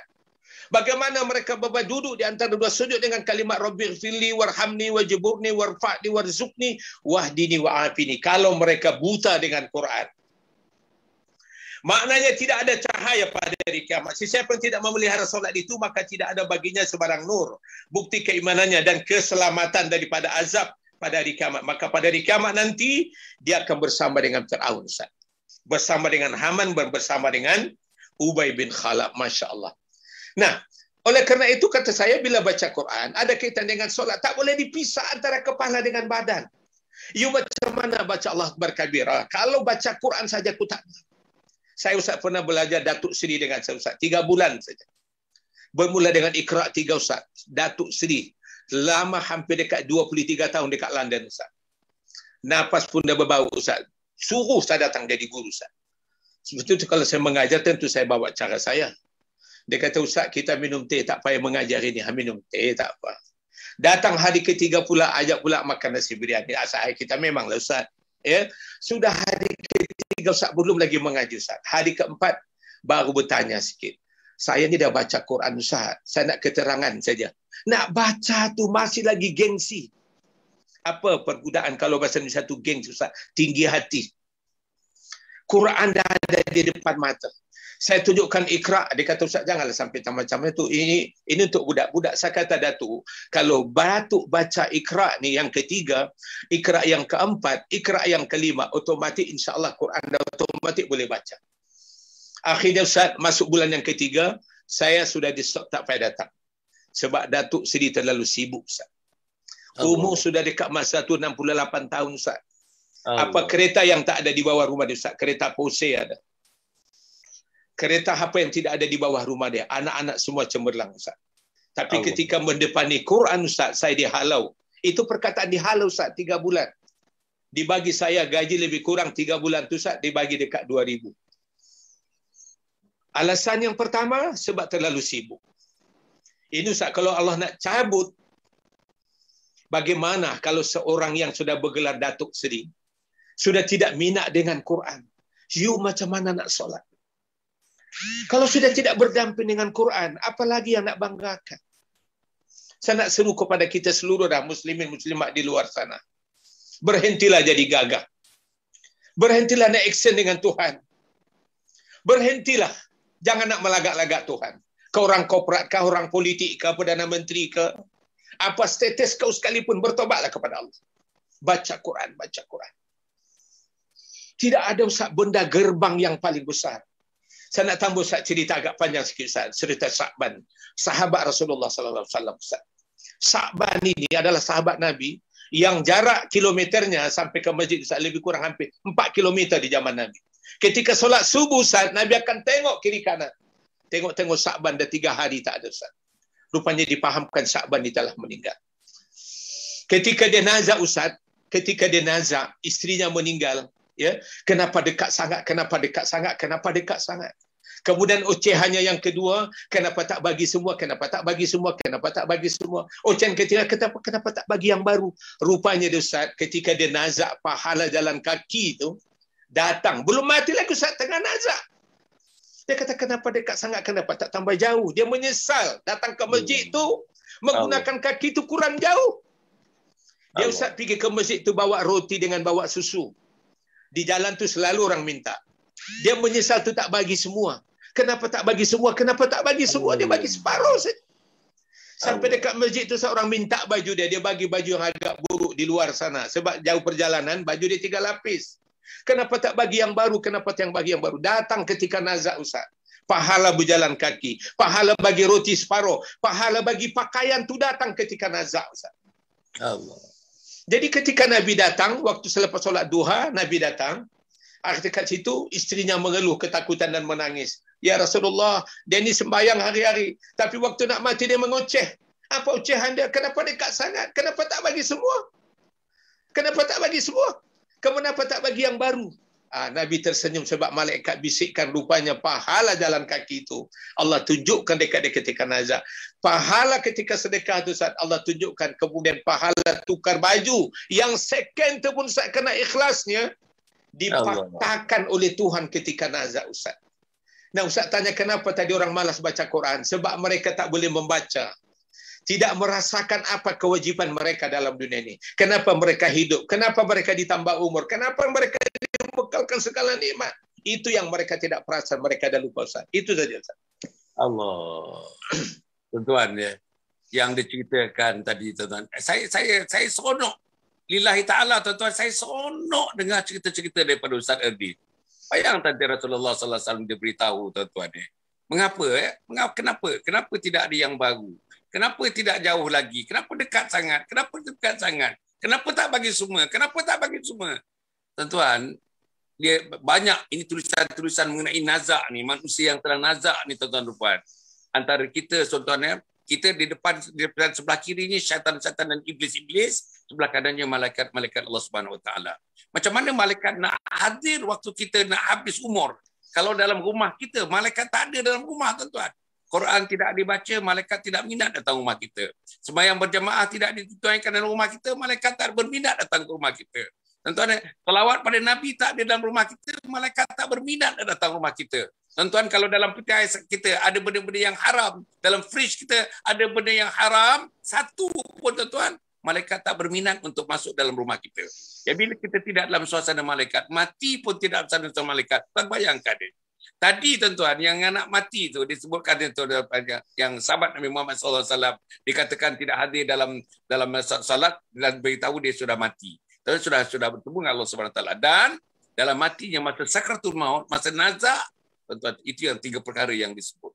Menyesalnya dia, menyesalnya dia. Padahal tuan-tuan dan puan, dalam penyesalan-penyesalan itu pun tempatnya di syurga Allah taala. Tapi tak cukup lagi, tak cukup lagi, tak cukup lagi, tak cukup lagi. Saudara, di mana kita? Persoalannya Ustaz, di mana saya Hasan Ali? Di mana kita tuan-tuan? Di mana mak dan ayah? Di mana anak-anak muda kita? Di mana anak-anak remaja kita? di mana cucu-cucu kita dan sebagainya dalam konteks ini. Tidakkah nanti kita tuan-tuan rampat bukan seperti sahabat yang nak mati ni tiga perkara ni penyesalan kerana tak banyak lakukan lebih banyak lebih banyak lebih baik lebih baik. Tapi kita tuan-tuan permulaan melakukan yang baik pun tak ada. Pasal sembahyang pun tidak. Pasal Quran pun dibaca pun tidak. Di mana ada kebaikan daripada kita tuan-tuan puan. Sebab itu eh, saya haraplah insya-Allah mudah-mudahan Allah tuan-tuan saya suka dengar. Ustaz dalam pertemuan-pertemuan yang lain ni tu tak bagilah anekdot. Ini namanya anekdota anekdota. Ni anekdot anekdot seperti ini. Tuan-tuan kalau kita bercerita dengan anekdot macam ni sebagai Rasulullah sallallahu alaihi wasallam tadi memberitahu sahabat tu dia, dia nak mati tiga perkara tu. Kalau cerita-cerita macam ini biasanya dia ketuk hati kita tuan-tuan. Hati Hasan Ali ni perlu diketuk tuan-tuan. Hati Hasan Ali ni perlu dijinakkan. Hati Hasan Ali ni perlu dibelai tuan-tuan dan saya perlukan kepada pembimbing-pembimbing. Antaranya Ustaz-Ustaz Ustaz Ernest yang bimbing kita tuan-tuan. Pagi ini dia bimbing kita satu jam tuan-tuan. Satu jam. Bukan bayar satu sen pun tuan-tuan. Dia bimbing kita ke jalan Allah. Dia bimbing kita ke jalan syurga. Tapi saya yakin tuan-tuan. Saya yakin. Tuan-tuan ya. Kadang-kadang kita kita bersahur Ustaz ya. Hari Isnin, hari Khamis kita bersahur. Kadang-kadang pukul 4.30 kita dah ada. Tuan-tuan, TV-TV di Malaysia ni pukul 4, pukul 5 pagi semuanya cerita agama. Baca Quran daripada pukul 4 pagi, pukul 5 pagi, pukul 6 pagi sampai pukul 7, sampai pukul 8. Cerita agama, tuan TV 1 agama, TV Hijrah agama, TV 3 agama. Semua cerita agama. Tuan-tuan, saya nak bagi tahu tuan-tuan. TV rasa saya, rasa saya lah dari segi peruntukan untuk agama belum cukup. Memang belum cukup. Tapi tuan-tuan sudah sekurang-kurangnya sudah menepati kehendak untuk membina manusia-manusia beragama di Malaysia ini. Hanya kita saja. Ambil radio dia. Radio IKIM tu tuan. Hampir 24 jam radio IKIM itu. Cerita agama. Cerita Quran. Cerita hadis Nabi Muhammad SAW. Cerita hidup beragama. Cerita berakhlak. Cerita akidah. Cerita syariat. Cerita akhlak. Tapi di mana kita tuan-tuan? Tuan-tuan, anak kita tak ada buka radio IKIM anak kita buka sekarang FM FM berbagai-bagai FM FM FM lagi depan. Itulah dia. Itulah telinga dia. Umur 18 tahun pun telinga itu, umur 28 tahun pun telinga itu, yang kita tak seronok umur 68 tahun pun telinga itu tuan-tuan dan puan. Jadi para penonton yang berhati sekalian ni uh, saya nak menyebutkan yang terakhir ni tuan-tuan dan puan. Uh, yang pertama sekali tuan-tuan dan puan ni, oleh kerana kita nak memenangi remaja ni. Saya sudah buat satu akaun TikTok tuan-tuan. TikTok Alhamdulillah, tuan-tuan saksikan nanti, tuan-tuan saksikan mulai hari Ahad ni, tuan-tuan saksikan yang pertama, tuan-tuan dan. Apa tajuk besarnya? Tajuk besarnya, tuan-tuan, amalan kenit, K-E-N-I-T, kenit, amalan kenit, pahala melangit. Amalan kenit, pahala melangit. Amalan kecil, pahala besar. Amalannya busut, pahalanya gunung. Begitulah tuan-tuan dan puan. InsyaAllah saya sudah rakam 28 siri tuan-tuan. Setiap satu siri satu minit setengah. Satu minit setengah tuan-tuan. Satu minit setengah. Takkanlah kita tak dapat bagi masa satu minit setengah. Takkanlah anak muda kita tak dapat bagi masa satu minit setengah. Bersiri. Tiap-tiap hari tuan-tuan. Nanti tiap-tiap hari ada siri tu. Satu minit setengah. Satu minit setengah. Satu minit setengah. Apa sirinya? Namanya amalan kenit. Pahalanya, tuan-tuan, pahalanya melangit. Amalan kenit, pahala melangit. Jadi tuan-tuan itu TikTok insya-Allah. Saya Saya masuk tuan-tuan, saya buka akaun tu semata-mata diminta oleh sahabat-sahabat. Doktor, buatlah akaun TikTok. Cakaplah dengan remaja. Adreskanlah remaja. Sayangkan remaja. Cintakan remaja. Belailah remaja sebab kita nak remaja-remaja kita yang menggantikan kita nanti tuan-tuan puan remaja yang lebih baik daripada kita. Yang lebih anak saya mesti lebih baik daripada saya. Sembahyangnya lebih baik daripada saya. Qurannya lebih baik daripada saya. Sedekahnya lebih baik daripada saya. Amal solehnya lebih baik daripada saya. Itu yang kita nak. Dan itu sebab saya buka akaun TikTok tuan-tuan. Tuan pergi TikTok TikTok tuan-tuan pergi Datuk Dr Hasan Muhammad Ali ataupun Anjung Husnul Khatimah Anjung Husnul Khatimah atau Datuk Dr. Hassan bin Muhammad Ali. Kemudian yang kedua tuan-tuan yang kedua tadi kita sebut masalah yang Ustaz sebut masalah untuk tegakkan agama dalam keluarga khususnya solat Quran solat Quran solat Quran.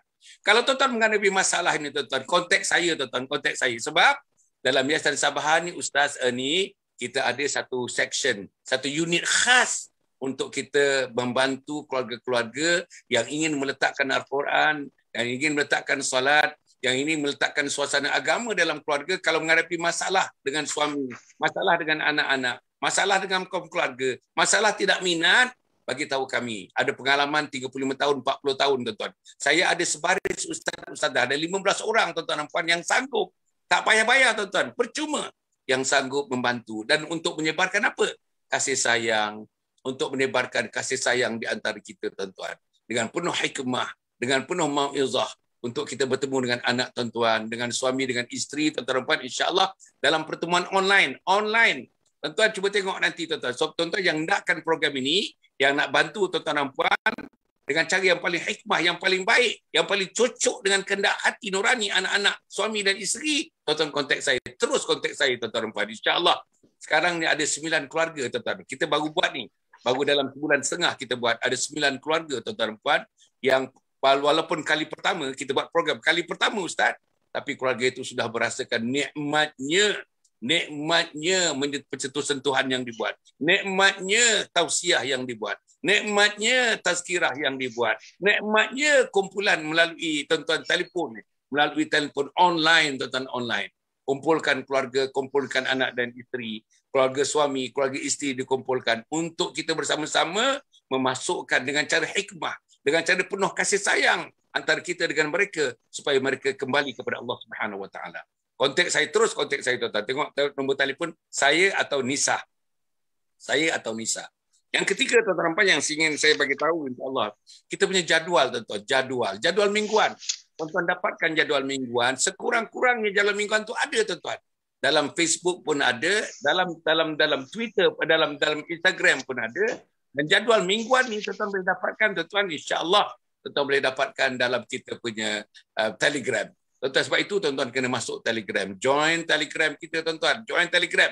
Pagi ni saya yakin sebentar lagi sudah ada tuan-tuan celipan-celipan baru. Sudah ada tuan-tuan dan perkara-perkara baru menggantikan yang semalam hari ini. Qurannya baru, hadisnya baru, kata-kata ulama'nya baru, simpulan-simpulan hikmat kata hikmatnya baru, kemudian tu ada video-video ringkas 2 minit, 3 minit, 4 minit saja video yang memaparkan tentang cantiknya Islam seluruh dunia ni tuan-tuan dan puan.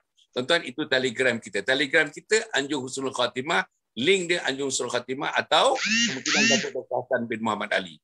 Kemudian tu tuan-tuan dan puan ni kita punya sijil wakaf.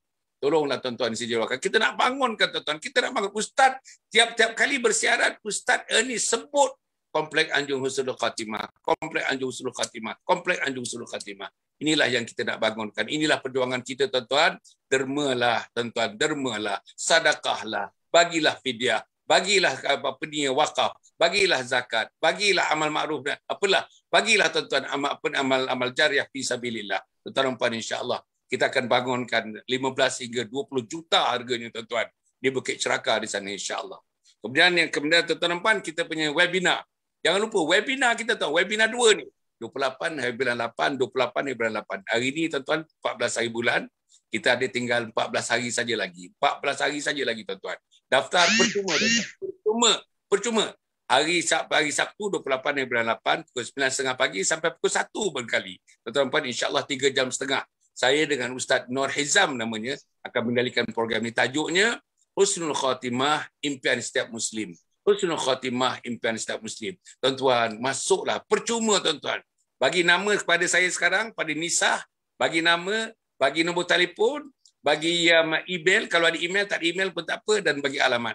Nama, nombor telefon, email, alamat. Kita daftar terus, tuan-tuan Yang tidak mendaftar, walaupun percuma, yang tidak mendaftar, tidak dapat menonton secara terbuka begitu tuan-tuan dan puan insyaallah. Limitnya 500 orang saja, 500 orang. Webinar yang pertama hari itu ada 623 orang tapi yang dapat menonton hanya 500 orang saja tuan-tuan. First come first serve, first come first serve. Percuma. Percuma tuan-tuan dan puan. Kemudian tuan-tuan dan puan yang ada yang boleh tuan-tuan dapatkan webinar satu tu laporan dia pembentangan satu yang saya buat pembentangan tua berdua Ustazah Muzayyanah Yusof Abu Zainal Abdullah buat tuan-tuan dan puan Masya Allah, tuan-tuan dapat kata tuan-tuan. Dapat kata tuan-tuan. Tengok, minta anak-anak tengok. Webinar satu tu tajuknya, Isteriku Ketua Bidadari Syurga. Yang kita jalankan pada 26 hari bulan 6 tahun-tahun ini, tuan-tuan depan. Isteriku Ketua Bidadari Syurga. Dapat tuan-tuan. Tengok tuan-tuan, dapatkan. Ada sikitlah tuan-tuan derma kepada Anjung Husnul Khatimah. 20 ringgit derma lah kepada pembinaan Anjung Husnul Khatimah insyaAllah. Kemudian tuan-tuan yang akhirnya saya harap tuan-tuan dan puan mudah-mudahan Allah memberikan kekuatan kepada tuan-tuan ya. Uh, dan uh, saya harap tuan-tuan bagi akhirnya sekali lagi oleh kerana baru ni TikTok, TikTok, account TikTok saya. Datuk Dr. Hassan Muhammad Ali ataupun Anjung Husnul Khatimah, pergilah tuan-tuan. TikTok itu untuk anak-anak, untuk tuan-tuan dan perempuan, seluruh keluarga tuan-tuan dan perempuan. Hari Ahad ni mula tuan-tuan, siri yang pertama. Saya sudah rakam 28 siri tuan-tuan, mengkhususkan perhatian kepada macam mana agama ni. Ambil yang paling mudah dulu. Buat yang paling mudah, buat yang paling mudah, buat yang paling mudah, buat yang paling mudah. InsyaAllah daripada mudah tuan-tuan secara gradation dia akan meningkat, akan meningkat, akan meningkat, akan meningkat, akan meningkat. Dan saya sembahkan tuan-tuan dalam keadaan memujuk, dalam keadaan memanggil, dalam keadaan melambai anak-anak kita dengan penuh kasih sayang dan penghormatan kepada mereka. Tontonlah tuan-tuan TikTok saya insya-Allah Uh, boleh pergi kepada Anjung Husnul Khatimah atau Datuk Dr. Hassan bin Muhammad Ali insya-Allah. Jadi ustaz uh, yang terakhir ustaz yang terakhir dalam satu minit ustaz. Apa ustaz nak tutup dalam program ni yang terakhir ustaz? Sila ustaz. Uh, alhamdulillah. saya nak ambil daripada sepotong hadis saya belum pada pada Fadalah bin Ubaid qala Rasulullah sallallahu alaihi wasallam qala Nabi sallallahu alaihi wasallam Nabi kata sebut senang aja Ustaz dalam satu minit ni. Al-mujahidu manjahada nafsa. Bagi yang siapa saja juga yang mendengar benda ni, dalam hidup kita ni Ustaz, mesti ada satu benda mujahid.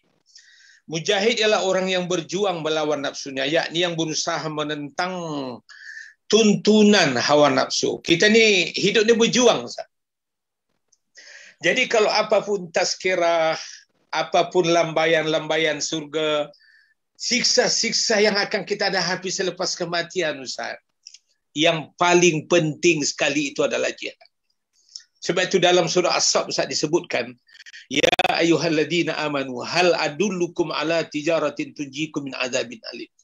Wahai orang beriman, maukah aku tunjukkan kamu satu barang perniagaan yang akan terbebas daripada azab Allah Subhanahu wa taala. Disebut wa tujahiduna fi sabilillah, berjihad, berjihad. Al mujahidu man jahada nafsah.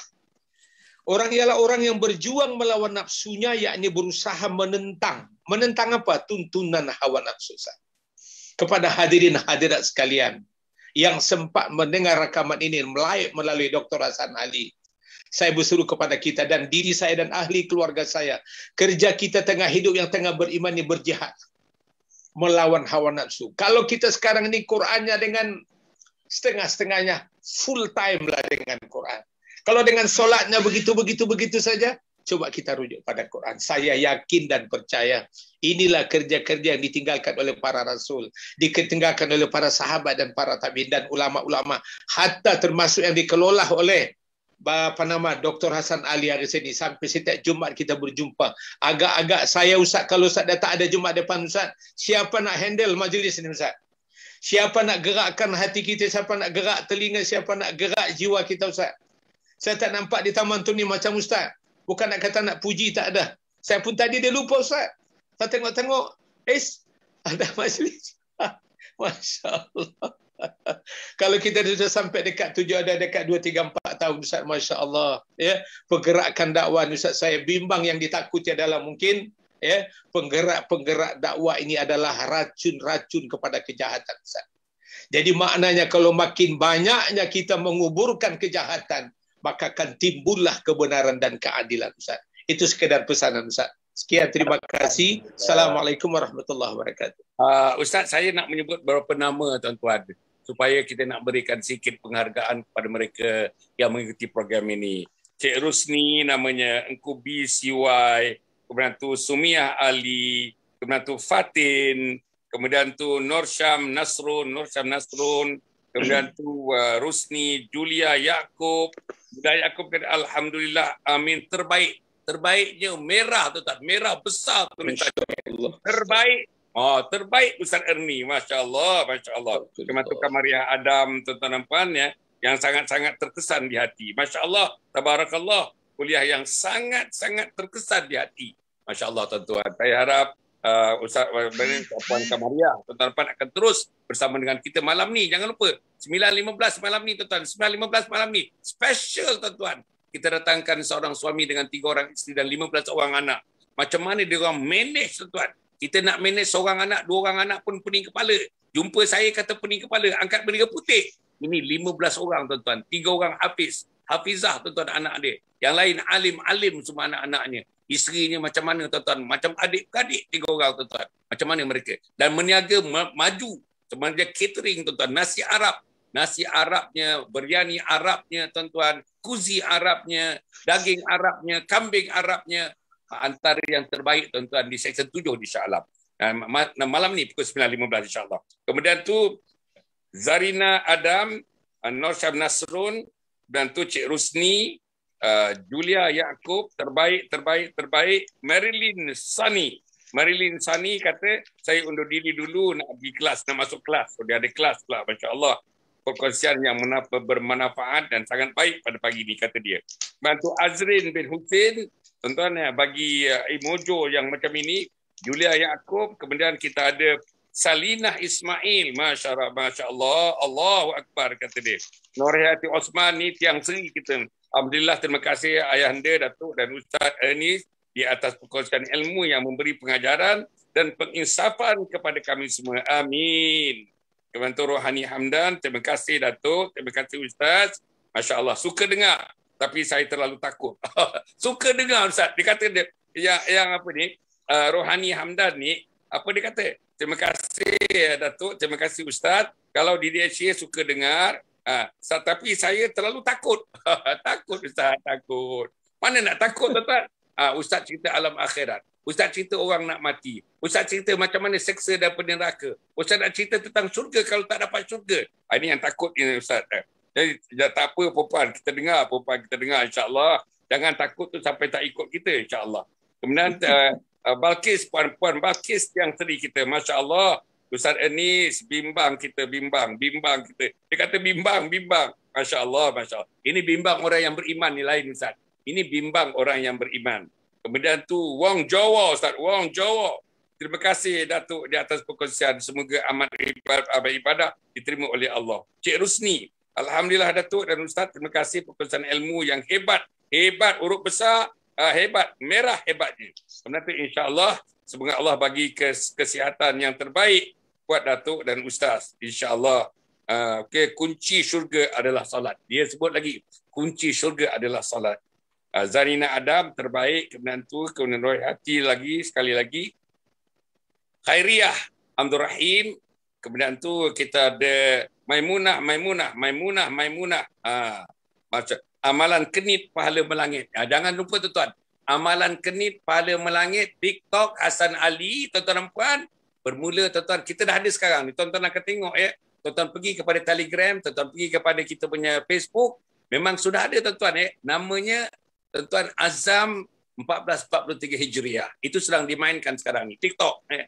Kemudian tuan-tuan untuk mulai daripada hari Ahad yang akan datang ni, itu yang tuan-tuan amalan kenit pahala melangit. Amalan kenit pahala melangit. Saksikan. Satu minit setengah, satu minit setengah, satu minit setengah, satu minit setengah. Okey, tuan-tuan dan puan. Eh. Kemudian tu Siti Armah Bakar. Amalan kenit pahala je melangit. Oh, moga dipermudahkan, Masya Allah. Siti Ahmad, S-I-T-T-E-E, Ahmad. Syarifah Masirah. Syarifah Masirah, Alhamdulillah. Selamat pagi Ustaz. Alhamdulillah, terima kasih. perkongsian ilmu yang sangat baik. Uh, Salmiah Mah- Mahun, Mahnum, salah sangat hebat, sangat hebat.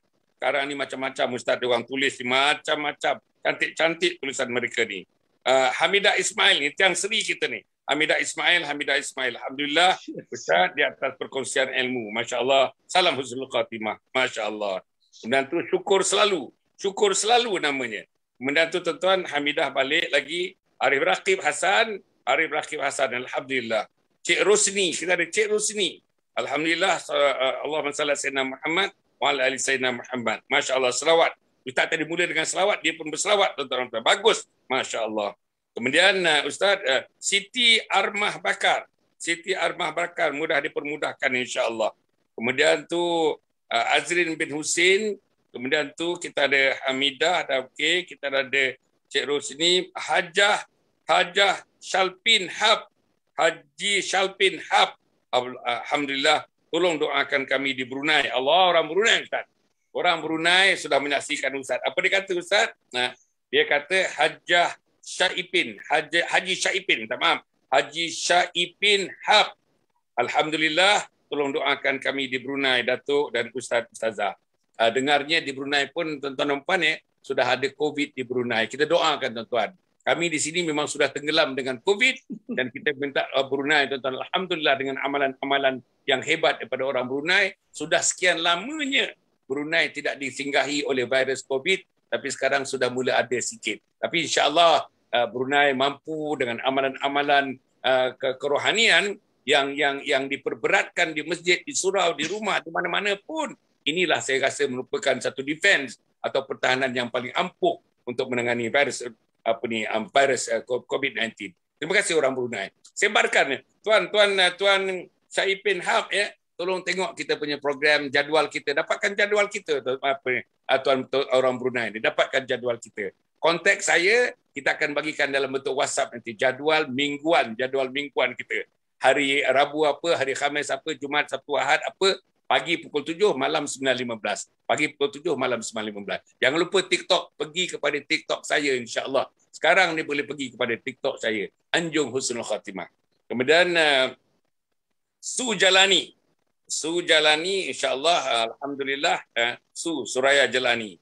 Su Jelani kemudian tu uh, Rohani Hamdan uh, Rohani Hamdan ni tuan-tuan masya-Allah uh, tuan-tuan boleh hubungi Rohani Hamdan ni tuan-tuan Puan Rohani ni kita telah mengadakan usrah usrah keluarga sebagaimana yang saya cadangkan tuan-tuan puan insya-Allah kita ada unit untuk membantu keluarga-keluarga memasukkan ilmu Islam memasukkan kefahaman Islam memasukkan roh Islam memasukkan persekatan Islam dalam keluarga terutama yang Ustaz Ernie sebut salat Quran, salat Quran, salat Quran, salat Quran itu. Jadi Puan Rohani Hamdan sudah bersama dengan kita. Kemudian uh, Cik Rusni Nur Syam Nasrun, uh, Siti Armah Baka, Siti Armah Baka, Alhamdulillah, rebutlah peluang ini, kata apa ni, ilmu di hujung jari, ambillah dan rebutlah peluang ini. Banyaknya program agama dilaksanakan, Masya Allah, Masya Allah. Kemudian tuan-tuan puan, eh, uh, apa ni, Puan Hamidah Ismail mengingatkan, Jom ramai-ramai kita daftar seminar webinar 2 Husnul Khatimah impian setiap muslim pada 28 hari bulan Ogos ini jam 9.30 pagi insya-Allah. Hubungi Cik Nisa. Ha, hubungi Cik Nisa dia kata. Okey, Rohani Hamdan Alhamdulillah berjihadlah kita demi Husnul Khatimah. Berjihad. Ambil seronoknya saya. Ustaz sebut tadi banyak kali tuan-tuan. Jihad, jihad, jihad, jihad, jihad. Jihadul akbar, jihadul nafs. Jihad yang paling besar ialah jihad nafsu tuan-tuan pada insya-Allah. Macam mana kita nak kekang nafsu kita? Siti Iza, Siti Iza, Siti Iza. Alhamdulillah Siti Iza. Uh, Cik Rosni alhamdulillah. Kemudian tu Noriza Misnon, Puan Balkis terbaik memang terbaik. Su Jalani, kemudian tu Maimunah Maimunah, Nur Hasiah, eh? Adil Adil Ahmad terbaik. Kemudian tu Zainal Abdul Kadir, alhamdulillah. Kemudian tu Sumia Ali, Sumia Ali, Kemudian tu ada orang um, um, sekali lagi orang Brunei uh, Haji Syaipin Hab. InsyaAllah mudah-mudahan Allah permudahkan urusan kita semua. InsyaAllah Siti Iza sudah tadi. Uh, Zamlah Ismail. Zamlah Ismail. Terima kasih Datuk Ustaz. Ramai pagi di Ustaz. Ustaz Ernest ramai pagi di Masya Allah. Uh, kemudian tu uh, Azinah Utamiah. Azinah Utamiah. Terima kasih Datuk serta uh, sahabat-sahabat semua. Moga-moga kita mendapat manfaat daripadanya. Aminah Johari, terima kasih Aminah Johari. Kemudian tu Salina Ismail. Tak sabar nak join majlis MU malam ni malam ni. Malam ni jangan lupa tuan-tuan 9.15. Unik malam ni tuan-tuan ni. Unik 9.15 tuan-tuan dan puan Tengok isteri tiga orang semuanya pakai purda tuan-tuan puan. Isteri educated tuan-tuan. English speaking. Tiga-tiga isteri dia English speaking. Suaminya pun English speaking. Very educated tapi very, very pious. Very, very pious. Very Islamically inclined. Tuan-tuan puan, insyaAllah di rumahnya macam mana didik anak-anaknya. 15 orang anak tuan-tuan. 15 anak. Beberapa orang jadi hafiz dan hafizah. Beberapa orang jadi alim dan alimah dan puan. Keluarga ni kita nak belajar daripada keluarga ini. Malam ni 9.15 insyaAllah. Kemudian tu Siti Iza. Cik Dah. Ha, Cik Dah insyaAllah uh, perkongsian yang terbaik. Kemudian tu Cik Iza. Alhamdulillah perkongsian yang terbaik. Manfaat. Kemudian tu Kamisah Saleh. Bagus. Uh, Umi Hal Hamsiah. Uh, Has, Hasiah Musa. Uh, yang terbaik. Kemudian Ifatur Nur. Ifatur Nur. Terima kasih. InsyaAllah. Kemudian sekali lagi teman-teman jazakallah khair daripada Brunei tadi. Kemudian tu Apple Green 63. Apple Green. Masya Allah. Apple Green 63. Alhamdulillah. Masya Allah. Kemudian uh, kita ada nama dan seterusnya. Ramai sangatlah tak pagi ni ramai sangat. Itulah Ustaz Erni ni tuan-tuan. Cara Ustaz Erni ni. Tahu, cara Ustaz Erni ni Quran hadis, Quran hadis, Quran hadis, Quran hadis. Itu yang menarik tuan-tuan dan puan. Erni eh, Ustaz Erni tak pernah dalam mana-mana soalan yang saya kemukakan tak pernah didarui dengan Quran dan hadis Quran dan hadis Quran dan hadis. Secara konsisten tuan-tuan puan, selama setahun dekat dua tahun ni uh, Ustaz Ernest bersama dengan kami apa dia? Salat Quran, salat Quran, salat Quran, salat Quran, salat Quran. Jadi insya-Allah lah tuan-tuan mudah-mudahan ada baiknya.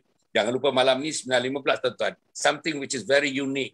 It is a presentation of a person yang macam mana dia menggarap Islam dalam kehidupan moden rumah betul-betul Seksyen 7 di Shah Alam, macam mana bina isteri, macam mana bina anak, macam mana bina perniagaan, semua anak-anak dan isteri terlibat dalam perniagaan yang berjaya perniagaan. Pada masa yang sama, tapaknya Islam, tapaknya Islam. Siang Islam, malam Islam, pagi Islam, petang Islam. Ini yang kita nak belajar daripada mereka malam ini, tuan-tuan, 9.15. InsyaAllah, besok pagi, tuan-tuan, besok pagi, uh, kita berjumpa dengan uh, Ustazah Cinta Maudah. Uh, Ustazah Cinta Maudah pun ada TikTok tuan-tuan. Dia ada TikTok account dia. Ustazah Cinta Maudah besok pagi cerita tentang pendidikan anak-anak. Ini pun satu yang popular.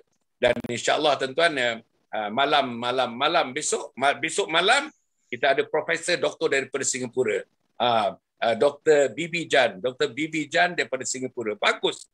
Dah masuk dengan kita sekali tuan-tuan dan puan bersama dengan uh, Profesor Dr. Uh, Rahimi uh, Rahimi Muhammad Saad tuan daripada Universiti Melaya gabung dengan orang Singapura masih di Singapura bekerja di kementerian uh, di Singapura dan alhamdulillah tuan-tuan puan ya uh, aktif dia Dr Bibi ini jadi bersama dengan kita besok malam tuan-tuan besok malam dan insyaallah pagi Ahad pagi Ahad kita berjumpa dengan anak muda uh, Ustazah Syaurah hafaz Quran muda tuan-tuan keluar universiti hafaz Quran tulis buku dan juga kepada Imam Muda Hasan Adli Hasan Adli Kemudian tu malamnya tuan-tuan, malamnya malamnya ustazah um, ustazah apa, apa ni ya um, yang apa ni ya saya rasa saya dah lupa pula nama itu tuan-tuan eh. Uh, apa ni uh, Nazir, Ustazah Nazirah. Ustazah Nazirah Abu Bakar cerita mengenai fiqh hawa. Fiqh hawa, fiqh wanita. Fiqh wanita Ahad Ahad malam, malam Ahad malam Isnin insya-Allah. Cukup setakat itu, minta maaf tuan-tuan, minta maaf ustaz-ustaz agak-agaknya kita harap tuan-tuan hari Jumaat. Saya panjangkan sikit hari ini tuan-tuan. Saya panjangkan hari ini pasal Jumaat tuan-tuan. Kita patutnya habis tadi tuan-tuan pada pukul uh, pukul 8 8 lebih 10 minit begitu. Sekarang sudah 8.25 jam saya. Saya panjangkan pasal apa tuan-tuan? Pasal saya seronok dengan Ustaz Ernest. Dan penonton-penonton pun seronok dengan Ustaz Ernest ni.